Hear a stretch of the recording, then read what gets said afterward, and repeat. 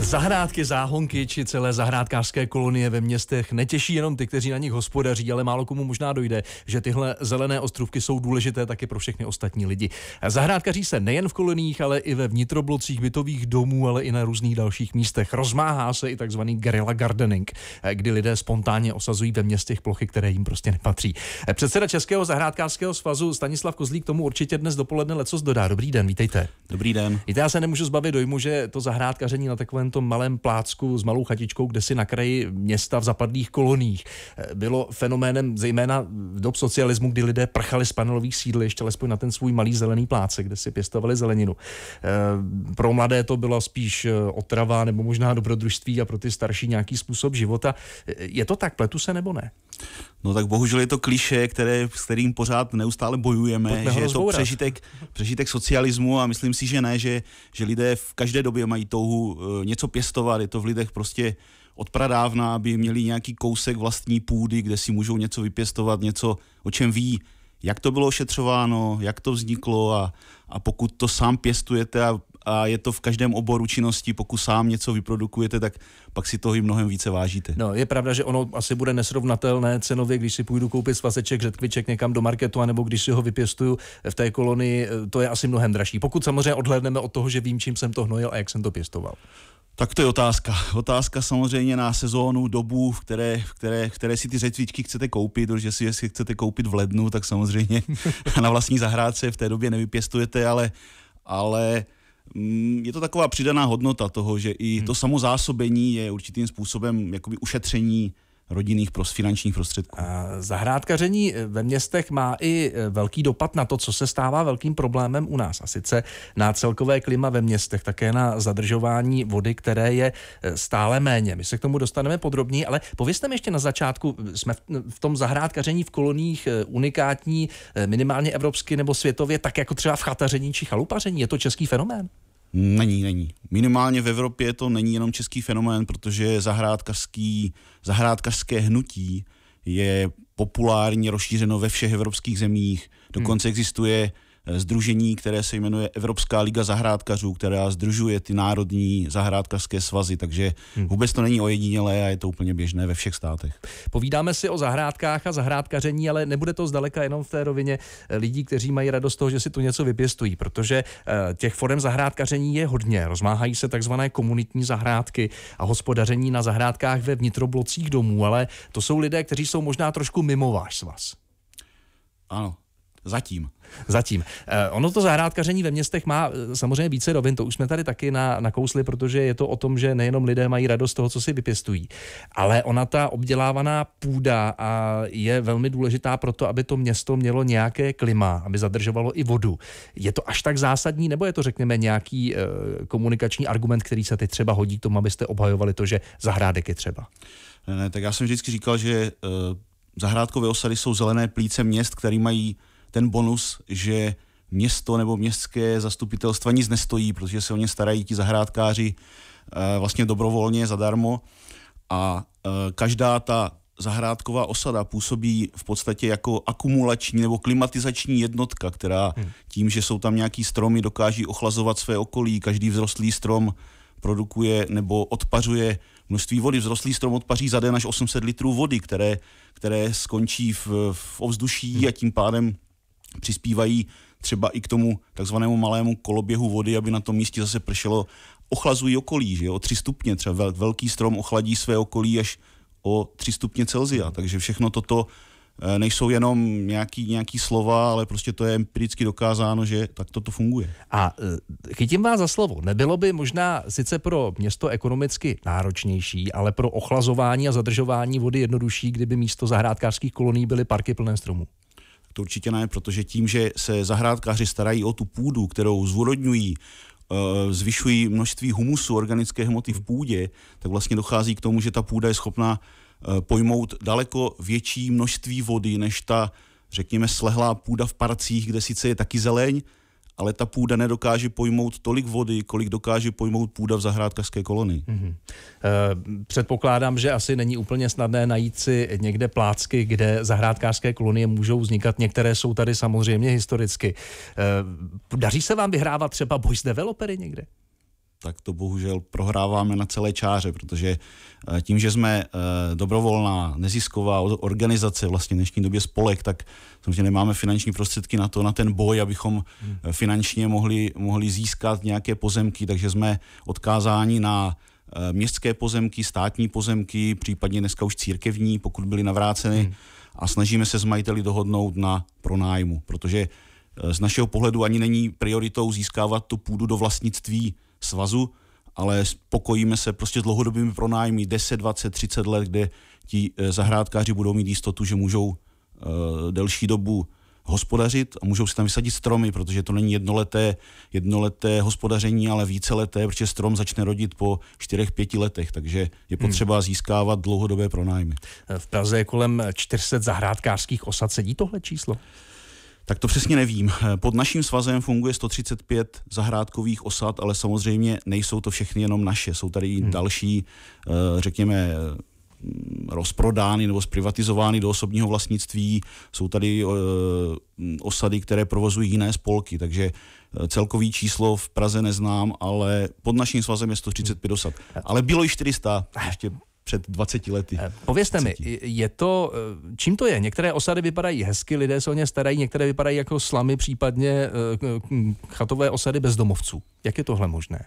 Tak to je to, co jsem říkal. Pokud budeme mít jistotu, že ty v té osadě budeme 10, 15, 30, 40, 50 let, tak si jednak tam tu chatičku e, prostě vyšperkujete tak, aby se líbila nejen vám, ale okolí. Budete si tam sadit stromy, které tam víte o tom, že tam budou dlouho, ale pokud máte pronájem na jeden rok a prostě neustále se ty pronájmy opakují, nebo je tam výpovědní lhůta jeden rok a vy nemáte jistotu, že za rok tam budete hospodařit, tak nikomu se nechce investovat to úsilí ani ty finanční prostředky do toho, aby to nějakým způsobem vypadalo. A bohužel musím říct, že pak je důsledkem toho, že ty osady vypadají, jak vypadají a nakonec to město řekne, no tak ta osada vypadá tak, jak jste hmm. o tom hovořil, že je to nějaký doupě bezdomovců a tak to radši zružme, než bychom hmm. těm zahrádkářům dali jistotu dlouhodobého pronájmu a ta lokalita by se změnila naprosto zásadně. Hmm. Eh, vnímáte alespoň elementárně třeba více pochopení ze strany státu, případně městských zastupitelstev k tomu, co mi tady říkáte? Ono ne- neexistuje žádná legislativa, která by vám nějak pomáhala, nebo ano? Ne, bohužel ne. Hmm. Jednak se snažíme už, už od roku 2000, což je 19 let, se sadíme o, o pros, snažíme o prosazení takzvaného zahrádkařského zákona, který by nám pomohl v tomto našem boji, ale ale v současné době v zákonech žádnou oporu nemáme a je to vyloženě na vůli eh, majitele toho pozemku, zda umožní aby tam ta zahrádkářská osada fungovala eh, či skončila. Zahrádkáři jsou činí, jak slyšíme, není to jako ve známém filmu, kde jsme výdali o nenápisy zahrádkáři Kersku, že to je jinak, o tom nás dnes eh, přesvědčuje eh, předseda Českého zahrádkářského svazu Stanislav Kozlík. Pojďme teď citovat z dnešních novin. Zahrádkářů v Česku ubývá, píše regionální deník. V roce 90 měl svaz 400 tisíc členů. Dnes jich je přes 130 tisíc. Podle deníku to ale není kvůli obecnému nezájmu. Tak kde je ten problém, pane Kozlíku? Myslím si, že problém je ve společnosti, protože eh, zájem o zahrádkaření je, řekl bych, že vyšší než v minulosti, ale bohužel je nezájem eh, lidí hmm. se združovat nebo organizovat v nějakých spolcích a tím pádem hm, těch organizovaných zahrádkařů na oko ubývá, ale, ale když se podíváte i na různé Facebook, facebookové skupiny o zahrádkaření a zahrádkařích, tak ty jsou prostě obrovské skupiny lidí, takže zájem je, je velký, ale. Nechuť. To je to komunitní hospodaření na zahrádkách ve vnitroblocích, které združuje ty mladé lidi hipsterského vzhledu hmm. někdy. Proč k vám nechtějí do svazu? Tak možná už z toho svého jaksi životního postoje, a jak jsem říkal v předchozím vstupu, že zatím nejsou naši členové, tak ono možná časem přijdou na to, že to hospodaření v tom jednom kontejneru někde v nitrobloku jim nestačí a začnou se pídit po těch větších plochách a, a třeba najdou cestu do těch našich zahrádkových osad a k nám do svazu. Takže já jsem vždycky říkal, na rozdíl od některých mých kolegů, kteří to odsuzují, jako že to je prostě populární móda, která časem eh, odezní, tak já si myslím, že ne. Já to považuji takovou zahrádkařskou přípravku nebo školku. Taková farma. Taková farma, kde buď to toho člověka po roce chytne, Jo, a nebo prostě to vzdá řekne, to není nic pro mě a já půjdu prostě třeba sbírat známky nebo stavět modely, ale zahrádkaření nechám. Takže prostě pokud to ten člověk jakoby vydrží, tak myslím si, že časem pro něho ten vnitroblok bude malý a bude chtít prostě větší plochu a a třeba se stane naším členem. Eh, jaký je tak zhruba věkový průměr, nebo kde jsou ty eh, nejmladší ročníky, které se eh, nechají organizovat ve vašem svazu a ne, nehospodaří a nezahrádkaří takzvaně na divoko?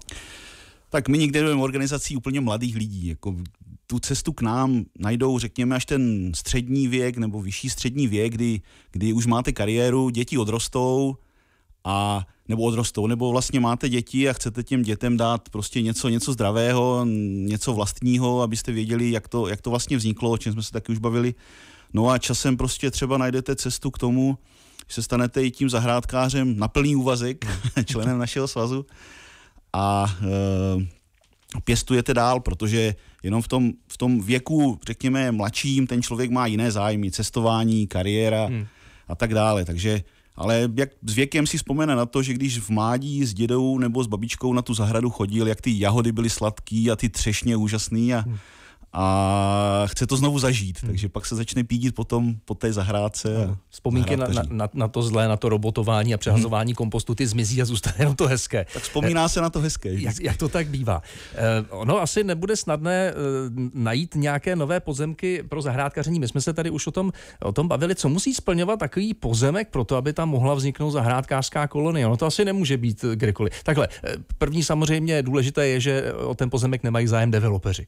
Což znamená, že se ocitáme někde u železničních tratí, na perifériích, u brownfieldů? Uh, tak třeba v minulosti, což už dneska zřejmě by nebylo možné, ale v minulosti vlastně ty zahrádkové osady vznikaly právě na takových místech, uh, dnešním řečníkem brownfieldů, prostě byly to skládky, nějaké plochy, kde, kde bylo rumiště, který zahrádkáři vlastními uh, silami zúrodnili, navezla se tam, navezli se tam tuny tuny úrodné zeminy, kde se to vlastně celý zúrodnilo, zlepšilo, no a dneska, a to bylo na okraji měst, rozvojem hmm. společnosti a růstem těch měst, ty lokality jsou dneska v, v uprostřed těch měst a samozřejmě jsou pod obrovským tlakem těch zájmových skupin, různých eh, betonových lobby a developerů a, a ti se snaží nás eh, odsud eh, vystrnadit Někdy to samozřejmě nejde, protože pokud je v územním plánu to místo zakotveno jako, jako nějaká plocha zahrádkových osad nebo zeleně, tak samozřejmě tam se stavět nedá. Ale bohužel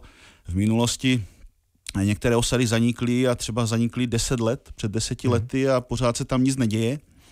Ale protože teďka máme období, kdy města musí eh, ty územní plány schválit, tak možná jen čekají na to, až se změní územní plán a, a najednou se tam bude moci stavět. Zahrádkaření v koloních rozhodně není přežitkem socialismu. To tady probíráme s dnešním hostem Stanislavem Kozlíkem, eh, předsedou Českého zahrádkářského svazu. Mě zaujal eh, titulek asi před dvěma lety v pražském deníku. Zahrádkářů sice výrazně ubylo, přesto vypěstují víc rajčat, okurek a jahod než zemědělci.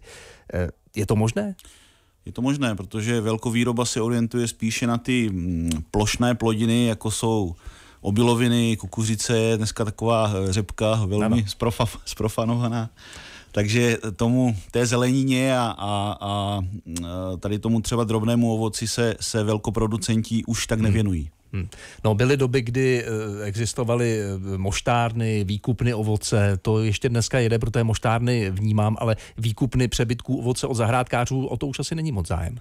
Tak moštárny jsou, i náš svaz provozuje po celé republice řadu, řekl bych desítky desítky moštáren, které jsou hojně využívány nejen našimi členy, ale je to vlastně hmm. služba i veřejnosti, ale ten výkup ten tady, ten tady není a myslím si, že i chybí. Hodně našich členů starších vzpomíná, že to bylo, že to bylo zajímavý i přivídělek v některých dobách, vlastně, kdy ty přebytky ze zahrádky mohly, mohly prodat do výkupu. Hmm.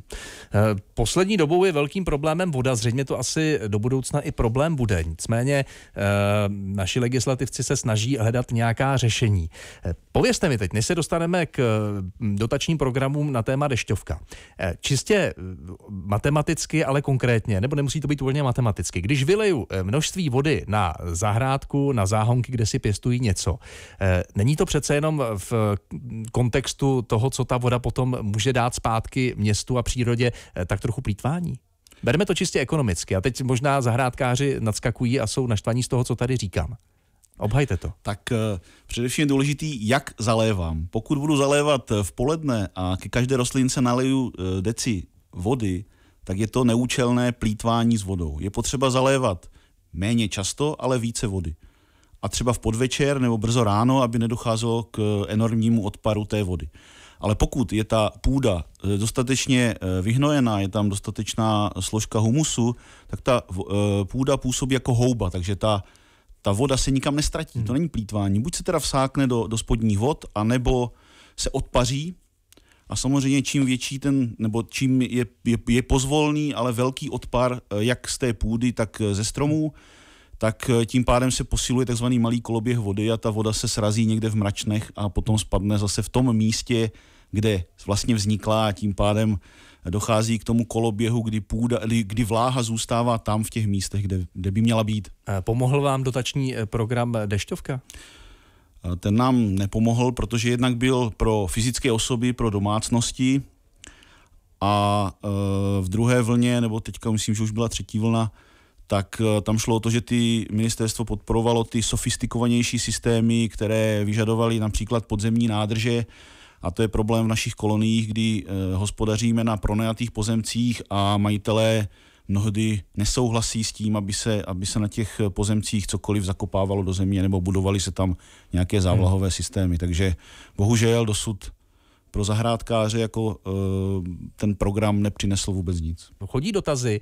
Je tady jedna reakce, eh, která je trošku nazlobená, co pak zahrádkářství v době komunismu bylo nějak poplatné režimu. Proč bohužel kliše? Eh, takhle, my jsme tady nic takového neřekli, jen to byl můj dotaz, zdali náhodou to není něco, co je spíše přežitkem, ale předseda zahrádkářského svazu mi vysvětluje a hájí, že tomu tak rozhodně není. Když bychom chtěli se vrhnout na zahrádkaření, chtěli bychom mít nějaký svůj pozemek, ono to vůbec nebude snadné. Dají se někde mm, najít volné pozemky? Kolik stojí takový pozemek? Jak se k němu dostat? Ono to asi bude různé eh, od místa, kde ten pozemek budeme chtít, jiné to bude v Praze, jiné to bude asi v hlavě. Přesně tak. Samozřejmě čím větší město, tím je daleko složitější se k nějakému volnému pozemku e, dostat, protože ten přetlak poptávky je obrovský.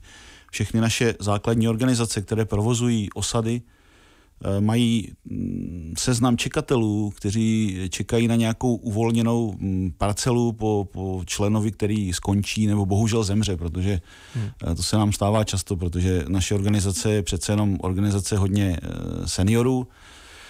No a ti čekatelé potom jsou hodně závislí na tom, na, té, na, té míst, na tom místě, protože úplně jiný problém je v desetitisícovém městě a něco jiného je Praha nebo Brno, ale vlastně tím, že jsme, náš svaz je poměrně velký, máme 130, aktuálně 135 tisíc členů, 2600 základních organizací a v každém bývalém eh, okresním městě máme řekněme takovou regionální kancelář, územní združení, kde je možné se obrátit a získat kontakt na tu konkrétní mm, část městskou nebo, nebo město, kde kde ten zájemce chce hospodařit a tam by mohli poradit, jestli nějaká volná parcela je. To znamená, že pozemky vždycky patří městu, na tom pozemku nebo vždycky, obvykle? Vždycky ne. Obvykle... Je to hodně, je to velká část buď městské nebo státní. Ale na tom pozemku je potřeba zbudovat nějakou chatičku nebo domeček.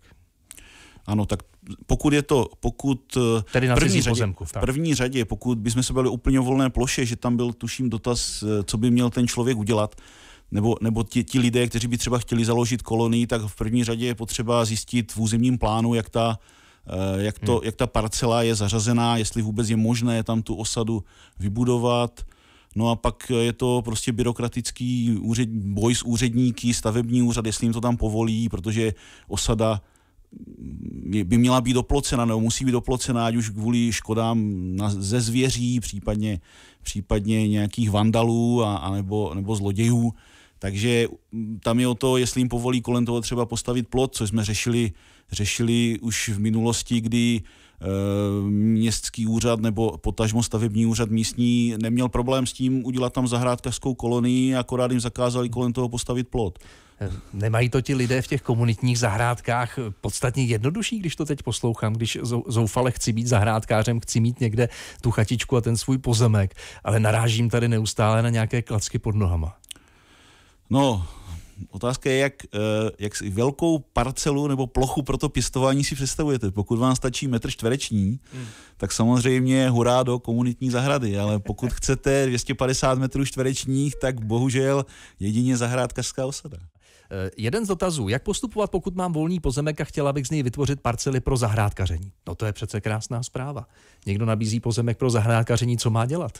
No krásná zpráva to je a v, eh, v poslední době eh, není ojedinělá, ale v první řadě by ti lidé tam měli zjistit, jak ta parcela je klasifikována v územním plánu, jestli vůbec není třeba potenciálně pro nějakou zástavbu, jestli se tam ta zahrádkařská kolonie může vybudovat, protože se to nebude na rok, ale na dlouhá léta, takže určitě tam musí nějaká záruka toho, že v územním plánu bude toto umožněno. No a pak samozřejmě to obíhání úřadů a, a boj s, s nimi. No. S úředníky. Eh, píše nám pan eh, Jiří, že je, eh, je drobný zahrádkář a uvědomuje se vedle té přirozené obnovy krajiny, o které tady celou dobu mluvíme v souvislosti s koloniemi, taky určitou funkci drobných zahrádkářských spolků. Je to důležité tak ty spolky samozřejmě zahrádkaření jako činnost jako taková určitým způsobem eh, slouží k, k péči o, o krajinu, k nějakému environmentálnímu vzdělávání, pracujeme s mládeží, pořádáme přednášky, semináře a tak dále, ale v podstatě na těch malých vesnicích eh, jsme spolek jako každý jiný. Někde tu, někde tu, tu společenskou kulturu nesou hasiči, někde sportovci, někde myslivci, někde zahrádkáři. Mm-hmm. Takže ten spolek není jenom čistě, eh, čistě eh, soukromý hobby těch mhm. členů, ale je to vlastně v mnoha ohledech je to třeba jediný spolek v té vesnici, který tam udělá nějaký bál nebo nějakou tancovačku. Eh, ono by bylo dobré ale mít ještě někde nějakou tu oporu nahoře. My jsme tady zmínili zahrádkářský zákon, respektive nějaký, který by možná mohl být, aby vám pomáhal. Myslíte si, že něčeho takového se někdy dočkáme? A k čemu to bude tedy vlastně dobré? Tak my věříme, že ano a snažíme se o to už 19 let. Vlastně první pokus byl v roce 2000 o předložení zahrádkařského zákona. Bohužel se nám to nedaří. A co by v něm mělo být? Tak samozřejmě nejde o, o to, aby ochranu e, měli, jak v úvozovkách říkají naši nebo odpůrci toho zákona, že pěstitelé kedlube nepotřebují ochranu, ale zahrádkaření bezpodmínečně potřebuje ke své činnosti půdu, zemědělskou půdu a ten zákon by měl především sloužit k ochraně zemědělského půdního fondu ve městech, aby sloužili dál té zemědělské činnosti. Tady je ta největší ochrana, to znamená, nikoli v tento pěstování. To znamená, že když si město zruší zahrádkářskou kolonii, tak vy nemáte nárok eh, v podstatě na nic. Prostě ji zrušilo, protože to byl pozemek města. Ale tak je to, je, pouze, je, je to je, majitel.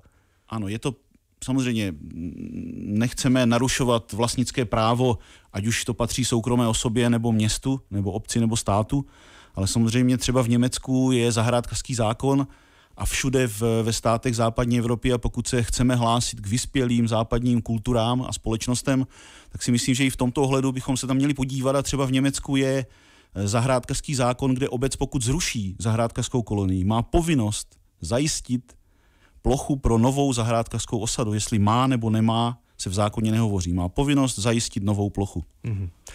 Stanislav Kozlík, předseda Zahrádkářského svazu, je hostem radiožurnálu. Povídáme si o zahrádkaření v mnoha souvislostech, tedy i o tom, že to není čistě jenom o pěstování kedlu, jak jsme teď zmínili, ale eh, ty zahrádky přece jenom prospívají nám všem, zejména v době, kdy je nedostatek vody a kdy klima pomalu ale jistě zkomírá. Pane Kozlíku, díky, že jste byl naším hostem. Co říci závěrem? Závěrem, tak jednak doufám, že se nám ten zahrádkářský zákon podaří konečně prosadit. Hmm. Jsme v dalším kole pokusu o to. No a chtěl bych, aby veřejnost zahrádkaření a zahrádkařský třeba hmm. svaz nebo spolky všeobecně zahrádkařské vnímala opravdu jako spolky veřejně prospěšné, protože hmm. to není jenom to, eh, to soukromé hobby, ale jsou to organizace, jak už jsem o tom mluvil, které se starají o, o vzdělávání, o práci s mládeží, o jakési šíření třeba odborných poznatků, že zahrádkaři jsou velmi, velmi uh, zdatní v, v tom v tom, co je nového, tak všechno chtějí mít na zahrádce a šíří to. Možná, že i uh, hipsterské skupiny z komunitního zahrádkaření by tady mohly najít uh, nejednu inspiraci, takže pojďme, pojďme otevřít zahrádkářský skvas a jenom připomenout, že to rozhodně není organizace, která združuje jenom uh, lidi přes 70 let, ale má co dát i těm mladším, kteří zatím nehospodaří tady na zahrádkách, ale uhospodaří si svoje komunitní zahrádky někde ve vnitrobloku.